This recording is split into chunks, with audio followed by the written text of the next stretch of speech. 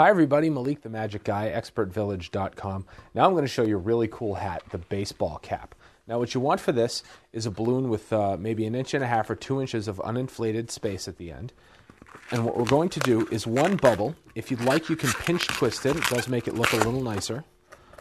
Then we're going to do a fold twist about three and a half or four inches long. And then another one so we end up with this shape right here. Now what you want to do is take another balloon blown all the way up and we're going to feed the two ends through the two loops.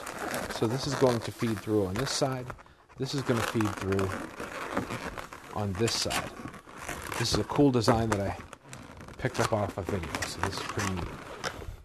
Now we take this, squeeze the air out. We're going to take these three ends and just make one twist like this to twist them together.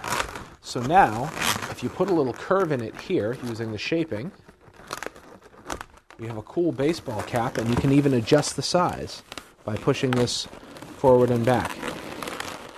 Now, one thing on the baseball cap is later on we'll get into snapping, and you can take two bubbles from a regular balloon and put them on here if you use white and make them eyes. So that's a fun way to do that as well. But that is the basic balloon baseball cap.